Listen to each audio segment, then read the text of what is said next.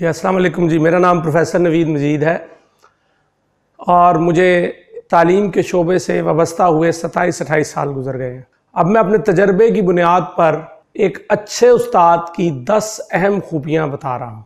और ये खूबियाँ एक अच्छे उस्ताद को एक आम उस्ताद से मुमताज़ कर जो पहली खूबी है, जो एक अच्छे उस्ताद में लाजमी होनी चाहिए, वो ये है कि वो अपने लेक्चर से अपने शागिर्दों को तफरी फ्राहम करें, ताकि उसके जो शागिर्द हैं, वो उसके अगले लेक्चर का इंतज़ार करें। अब इसको मैं एक दो मिसालों से वजाहत करता हूँ। मसलन, एंटरटेनमेंट या तफरी फ्राहम करने का मतलब ये नहीं है कि आप बच्चे को कोई जोक्स ही सुनाने शुरू कर दें। इससे मुराद ये है कि आप अपने सब्जेक्ट नॉलेज से बच्चे को तफरी फ्राहम करें। अब वो कैसे तफरी फ्राहम करें? मसलन, आप अगर एसी जनरेटर पढ़ा रहे हैं तो उसको किसने बनाया? उसकी लाइव हिस्ट्री। उसकी लाइव हिस्ट्री का कोई मज़ेदार वाक्य। मसलन एसी जनरेटर को माइकल फेरेडे ने बनाया था। आपको पता होना चाहिए, माइकल फेरेडे वो पहला साइंसदान था जिसने एसी जनरेटर बनाया, जिसने इलेक्ट्रिसिटी को दरियाफ्त किया, जिसने केमिस्ट्री में बेंजीन को दरियाफ्त किया, केमिस्ट्री में बेंसन बर्नर बनाया अब उसका कोई अहम इवेंट भी आप एक्सप्लेन कर सकते हैं। मसलन, जब माइकल फेरने ने इलेक्ट्रिसिटी दरियाफ्त की तो उसने एक वायर में करंट फ्लो करा के दिखाया और उस वायर को हीट अप करके दिखाया। तो उस वक्त के जो उसके हम असर साइंसदान थे, उन्होंने उसका मज़ाक उड़ाया कि इसमें क्या खास बात है। तो उसने एक छोटे से बच्चे की तरफ़ इशारा किया और उसने कहा कि बताइए कि इस बच्चे का इस वक्त आपको क्या फ़ायदा नज़र आता है। जैसे इस बच्चे का फ़ायदा आपको उस वक्त नज़र आएगा जब ये बड़ा होगा, अपने शोबे में जाकर कोई मुफीद साबित होगा। इसी तरह मेरी इलेक्ट्रिसिटी की दरियाफ्त का फ़ायदा आपको कुछ अरसे के बाद पता लगेगा। दूसरी अहम खसूसियत जो एक अच्छे उस्ताद में होनी चाहिए, वो ये है कि वो खुद भी एक कामयाब इंसान होना चाहिए। इखलाकी तौर पर भी और माशी तौर पर भी। और उसके तालीमी कारकर्दगी भी बहुत अच्छी होनी चाहिए। और ये बाय चॉइस टीचर बना है बाय फोर्स टीचर नहीं बना। अगर एक टीचर जो है वो उसका नॉलेज ही कंप्लीट नहीं है, या वो माशी तौर पर मुस्तकम नज़र नहीं आता तो ये बच्चा सोच में कशमकश का शिकार हो जाता है कि ये तो खुद कामयाब नहीं है।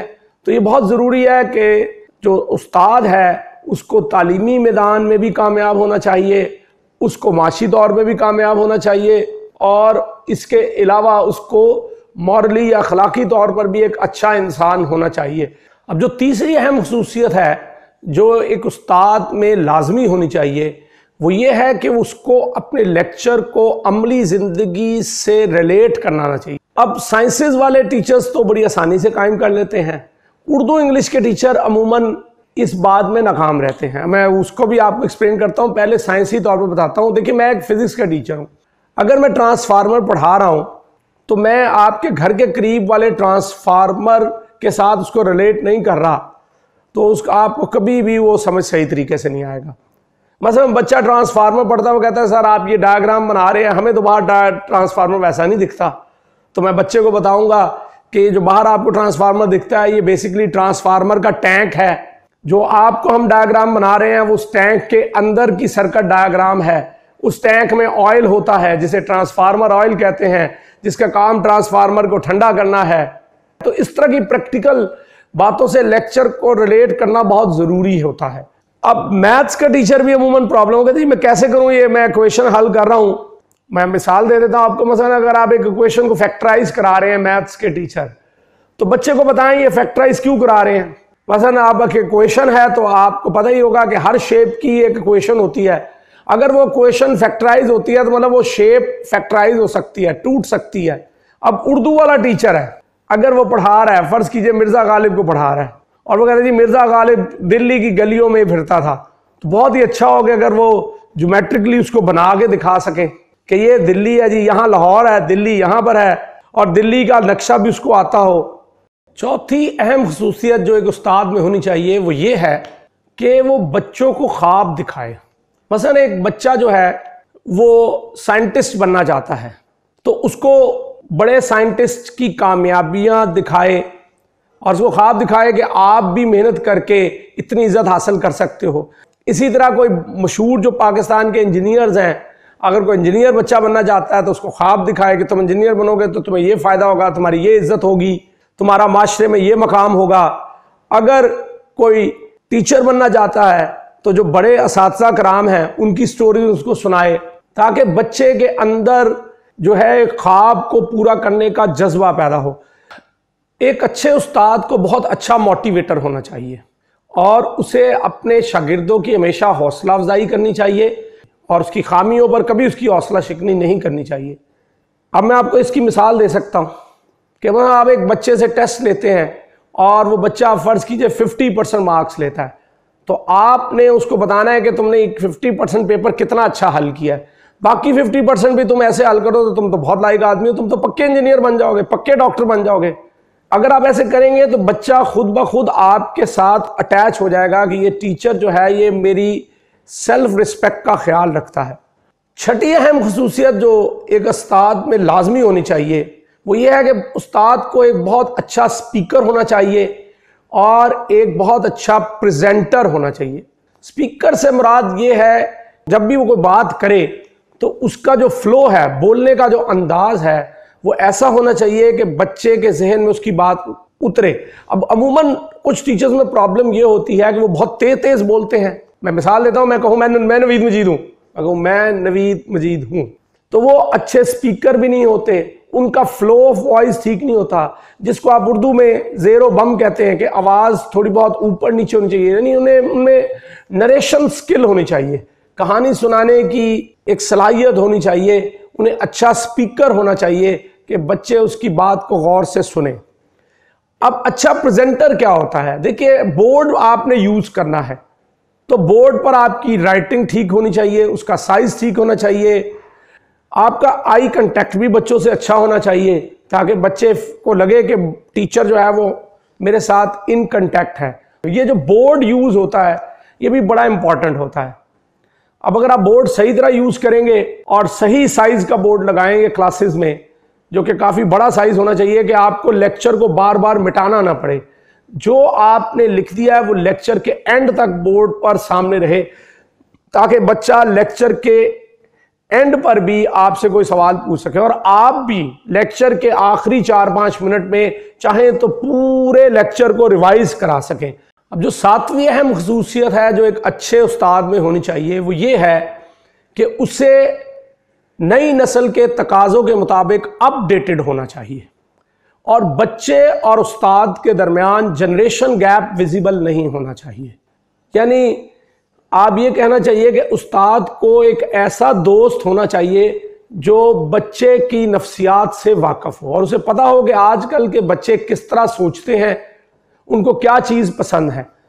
मसलन, मैं अपनी मिसाल देता हूँ कि अगर मैं फ़र्ज़ कीजिए एक law of conservation of momentum का टॉपिक पढ़ा रहा हूँ तो आजकल के जनरेशन को साइंस फिक्शन मूवी एक बहुत पसंद है दी कोर वो इसी के ऊपर है तो अगर मैं उसके साथ रिलेट करूँगा तो बच्चे को बहुत मज़ा आएगा।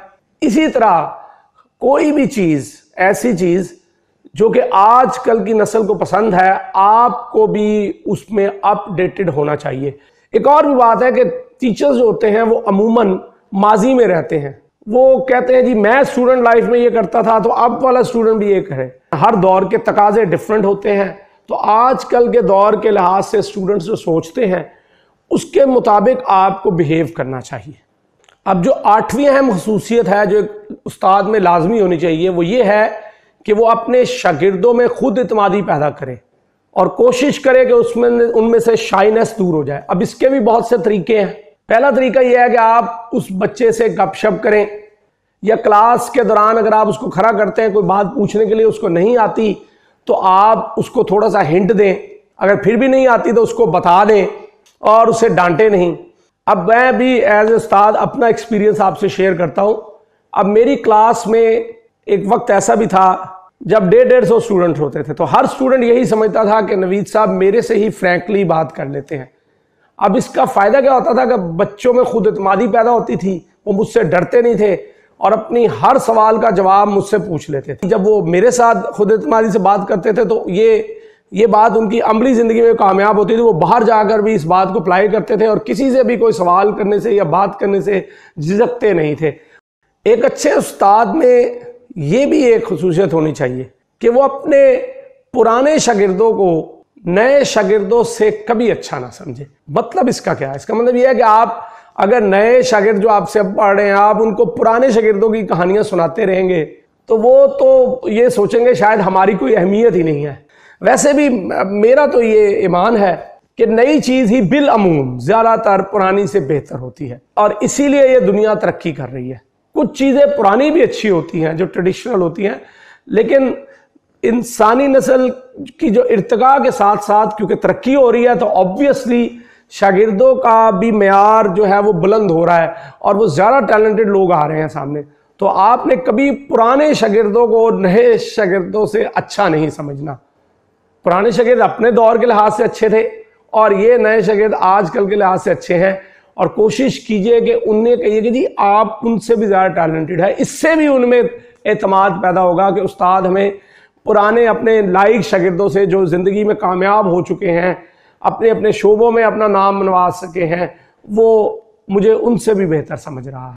आखिरी जो अहम खसूसियत है, जो कि दसवीं खसूसियत है, जो एक उस्ताद में लाजमी होनी चाहिए, कि उसे अपने शागिर्दों से एहतराम मिलना चाहिए डर के बगैर, यानी he must command respect without fear क्योंकि ये जो डर है, ये एहतराम की सबसे बुरी शक्ल है।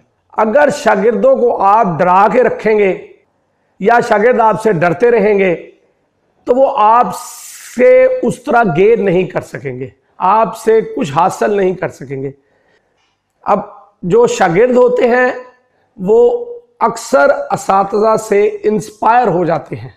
और उसकी वजह ये होती है कि वो उस्ताद अपने आप को इस तरह कैरी करता है कि वो समझते हैं कि हम भी इसी तरह के बने।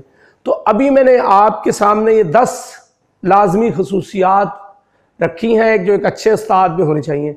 हो सकता है कि इनके अलावा भी आपके जहन में कोई अच्छी बात हो, क्योंकि हर उस्ताद में एक इनफरादियत का अंसर ज़रूर होता है। लेकिन ये दस खसूसियात लाजमी एक अच्छे उस्ताद में होनी चाहिए। इन दस खसूसियात की अगर मैं एक समरी पेश करूँ तो वो ये होगी कि एक अच्छे उस्ताद को इंस्पायर करना चाहिए।